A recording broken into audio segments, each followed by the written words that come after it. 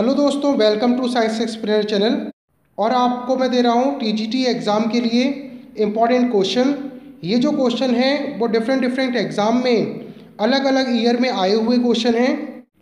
और क्वेश्चनों को शुरू करने से पहले बता दूँ मैं, जिन लोगों ने चैनल को सब्सक्राइब नहीं किया है, चैनल को सब्सक्राइब कर लीजिए। बेल आइकन को प्रेस कर दीजिए, जिससे कि आपको लगातार नोटिफिकेशन मिलते रहें, लगातार आपको इंपॉर्टेंट क्वेश्चन दिए जाते रहें। तो चलिए क्वेश्चन नंबर वन पहला क्वेश्चन स्टार्ट करते हैं इसमें। तो देखिए इसमें फ़र्स्ट क्वेश्चन है, किसी दूरदर्शी की आवर्धन क्षमता में वृद्धि की जा सकती है? तो दूरदर्शी की आवर्धन क्षमता में किस प्रकार से वृद्धि की जा सकती है? नंबर वन फोकस दूरी बढ़ाकर। दूसरा, उच्च शक्ति की नेत्रिका लगाकर। तीसरा, कम शक्ति की नेत्रिका लगाकर। या चौथा, वस्तु की दूरी को बढ़ाकर। तो किस प्रकार से आवर्धन क्षमता को परिवर्तित किया जा सकता है? तो चलिए इसका आंसर देखते हैं। तो देखिए, दूरदर्शी की आवर्धन क्षमता निम्न प्रकार से बढ़ाई जा सकती है। नंबर वन, ऑब्जेक्टिव लेंस की फोकस दूरी बढ़ाकर, यानी कि वस्तु की ओर जो लेंस होता है, ऑब्जेक्ट लेंस, उसकी फोकस दूरी को बढ़ाकर आवर्धन क्षमता को बढ़ाया जा सकता है।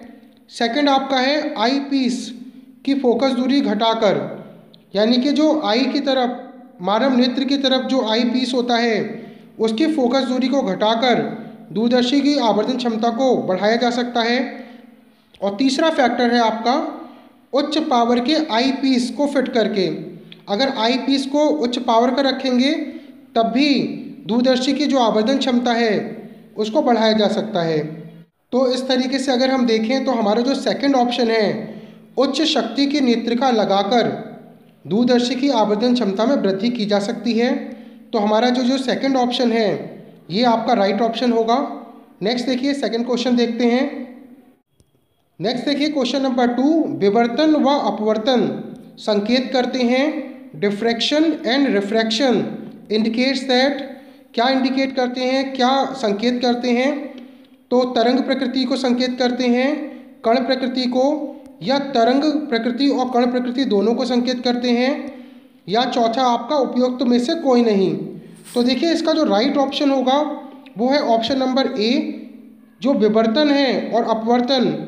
ये तरंग प्रकृति को संकेत करते हैं, जबकि कॉम्पटन प्रभाव तथा प्रकाश विद्युत प्रभाव कण की प्रकृति को प्रदर्शित करते हैं।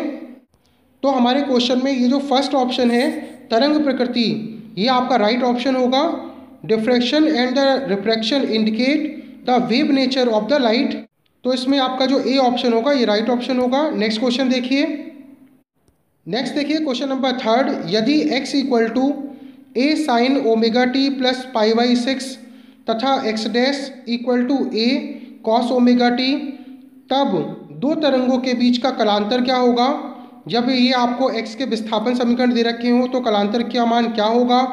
तो चलिए इसका आंसर देखते हैं। तो देखिए इसका answer x equal to a sine omega t plus pi by six में, ये जो पाई बाई सिक्स है, ये इसकी कला है।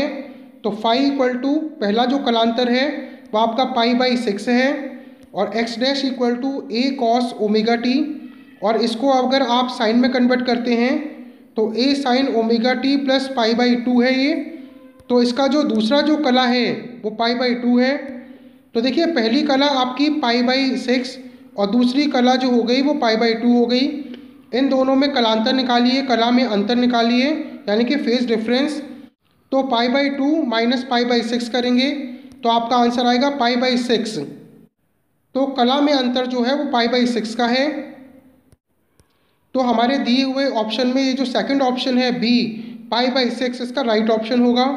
नेक्स्ट देखिए, क्वेश्चन नंबर फोर्थ। नेक्स्ट देखिए क्वेश्चन नंबर फोर दो निकटवर्ती कुंजी एक साथ दबा दी गई। इनके द्वारा उत्सर्जित स्वरों की आवृत्तियाँ N1 तथा N2 हैं। प्रति सेकंड सुने गए विस्पंदों की संख्या क्या होगी? तो जैसा आप जानते हैं, आवृत्तियों के बीच जो अंतर होता है, वही विस्पंद के बराबर होता है। तो आपका जो ऑप्शन नंबर थर्ड है n one minus n two ये आपका राइट ऑप्शन होगा। यानी कि प्रति सेकंड विस्पंदों की जो संख्या होगी number of beats per unit time ये आपका N one minus I N two होगा तो आपका थर्ड ऑप्शन राइट ऑप्शन होगा। नेक्स्ट देखिए क्वेश्चन नंबर फाइव नेक्स्ट देखिए फाइव यदि दो स्वरित्र ए व बी एक साथ ध्वनित किए जाते हैं तो ये चार विस्पंद प्रति सेकंड उत्पन्न करते हैं। ए पर थोड़ा सा मोम लगाने पर पुनः दोनों को एक साथ ध्वनित करने पर ये दो विस्पंद प्रति सेकंड उत्पन्न करते हैं। ए की आवृत्ति दो सौ छप्पन हर्ट्स है। तब आपसे पूछा है, बी की आवृत्ति कितनी होगी? तो देखिए, जब ए और बी को एक साथ बजाते हैं तो प्रारंभ में चार विस्पंद सुनाई पड़ते हैं और बाद में मोम लगाने के बाद में इसमें केवल दो विस्पंद सुनाई पड़ते हैं। तो देखिए, चलिए इसका आंसर देखते हैं। तो देखिए पहले जो ए की आवृत्ति थी, दो सौ थी। और एन पी की अज्ञात की आवृत्ति निकालें तो n a plus minus x और एक्स इसमें विस्पंदों की संख्या है। एक्स की वैल्यू यहाँ पर चार रखेंगे। तो यहाँ पर जो संभव आवृत्तियाँ हैं, वो 260 हर्ट और दो सौ हर्ट्सों की होंगी। और आपसे देखिए, दे रखा है क्वेश्चन में कि मोम लगाने पर जो विस्पंद हैं, वो कम हो जाते हैं, यानी कि जो बीट्स हैं, वो डिक्रीज हो जाते हैं। तो हमारा इनमें से राइट ऑप्शन होगा 252 इसका राइट ऑप्शन होगा। तो हमारे दिए हुए क्वेश्चन में ये जो बी ऑप्शन है 252 इसका राइट ऑप्शन होगा। चलिए नेक्स्ट क्वेश्चन देखते हैं क्वेश्चन नंबर सिक्स नेक्स्ट देखिए क्वेश्चन नंबर सिक्स एन लंबाई की तनी हुई डोरी, जिसको दोनों सिरों पर कसा गया है, में लेमडा तरंग दैर्य की अग्रगामी तरंगें स्थापित हो सकती हैं, जबकि एल का मान होगा। यहाँ एन एक पूर्णांक संख्या है। तो देखिए इसका आंसर कैसे निकालेंगे। अगर हम तनी डोरी की बात करें और इसे कम बल लगाकर इसमें वाइब्रेशन करें तो देखिए इसमें प्रारंभ में दो नोड यानी कि दो निष्पंद इसके सिरों पर और एक प्रस्पंद बनता है, एक एंटी नोड बनता है।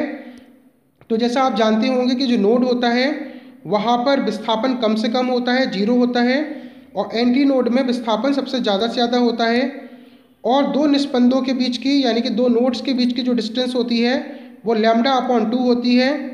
तो आपकी जो एल है, लंबाई, वो लेमडा अपॉन टू के बराबर होगी। और इसी डोरी को अगर हम और ज़्यादा कंपित करा दें तो अगर इसके अंदर तीन नोट्स और दो एंटी नोट्स बने तो तो देखिए, उस कंडीशन में हमारी जो लेंथ होगी टू लेमडा अपॉन टू के इक्वल टू होगी।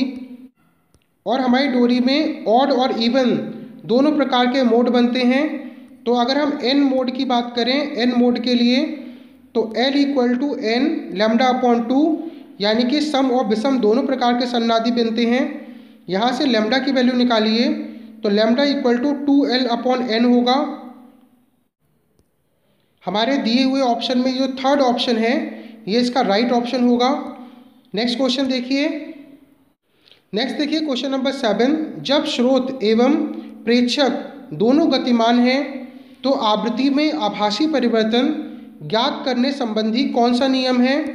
ऑप्शन आपको दे रखे हैं Doppler effect Huygens law Newton's law या गैलीलियो लॉ तो देखिए, इसका जो राइट ऑप्शन होगा वो डॉपलर इफ़ेक्ट स्रोत और श्रोता के बीच सापेक्ष गति के कारण ध्वनि की आवृत्तियों में जो अंतर होता है, अंतर पाया जाता है यदि दोनों के बीच सापेक्ष गति होती है तो इस प्रभाव को हम लोग डॉपलर का प्रभाव कहते हैं।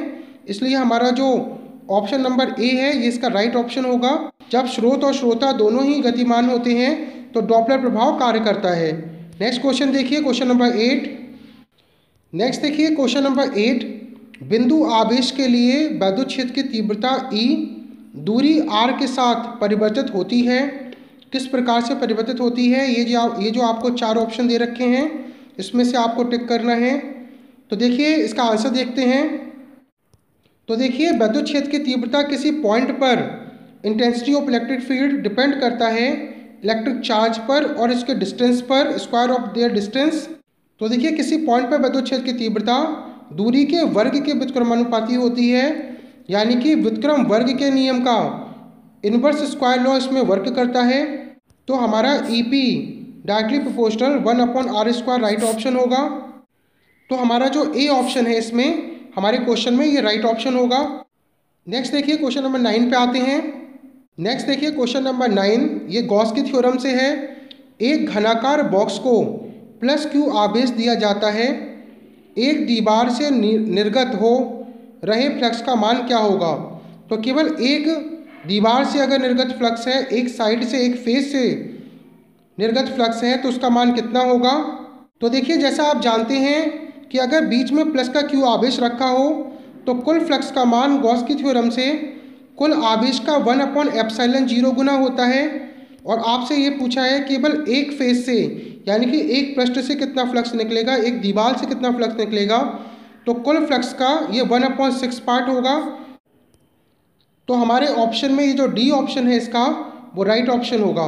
Next question number ten next देखिए क्वेश्चन नंबर टेन एक वैद्युत ध्रुव से इसकी अक्षीय स्थिति में इससे कुछ दूरी पर स्थित एक आवेश बल एफ़ का अनुभव करता है।